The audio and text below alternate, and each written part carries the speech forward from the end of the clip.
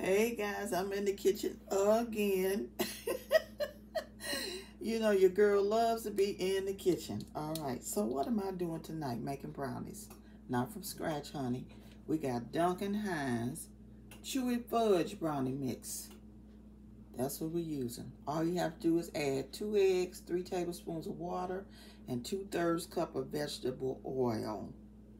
Put your oven on 325 and I already oiled my pan. I got just an 8 by 8 uh, baking pan. And the only thing I'm doing different to this batter is I'm adding walnuts. And I thought this time I'm going to put some mini marshmallows in here. I kind of looked up the recipe. Uh, I had Alexa find it for me. so I'm going to put a few of these uh, mini marshmallows in here. I just want to see how it's going to turn out. I like to experiment with food, okay? I like to experiment with food. Wait a minute, let me get... Okay, here we go. So I'm going to try to incorporate these marshmallows in here. This batter, I don't know why, appears to be really thick to me. I put everything they said put in here, but I may not have put enough oil in there.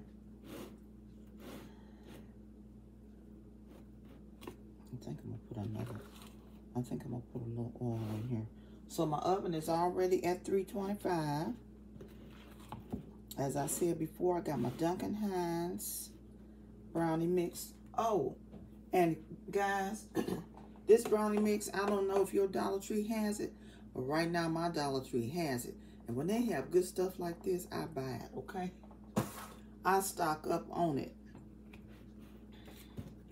I had a taste for uh, some Bluebell ice cream. And my husband was going to the store. And I said, babe, would you pick me up some ice cream?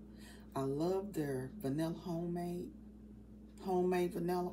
I was saying stuff backwards. Homemade vanilla. Um, it is so good if you haven't tried it.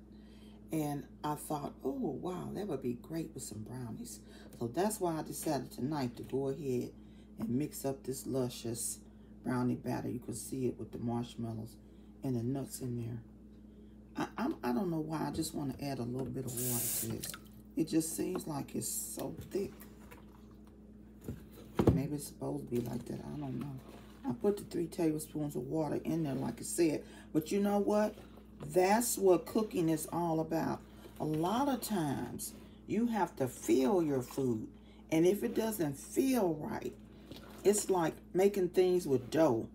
You know, the dough has got to have the right consistency for you to get that good loaf of bread or that great biscuit. You got to feel it. Or making pie crust from scratch. You gotta, it's gotta have a certain feel. Anyway, these feel thick to me.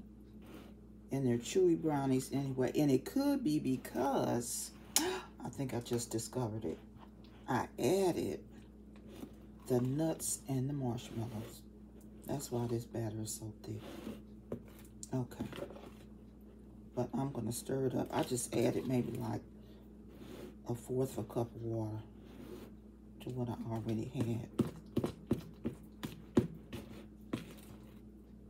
You can't even see what I'm doing, but that's all right. I'm gonna um do my camera like this. You won't see me, but you can see what I'm doing. Okay. So I got my pan here. I'm gonna go ahead and put the batter in there. Ooh, that looks good so good.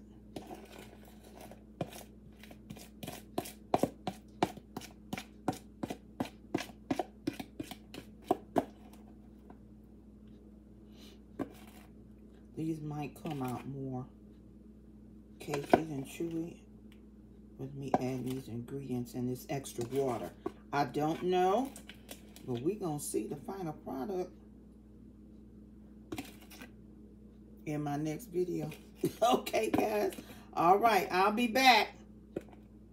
for part two of this chewy brownie uh, recipe.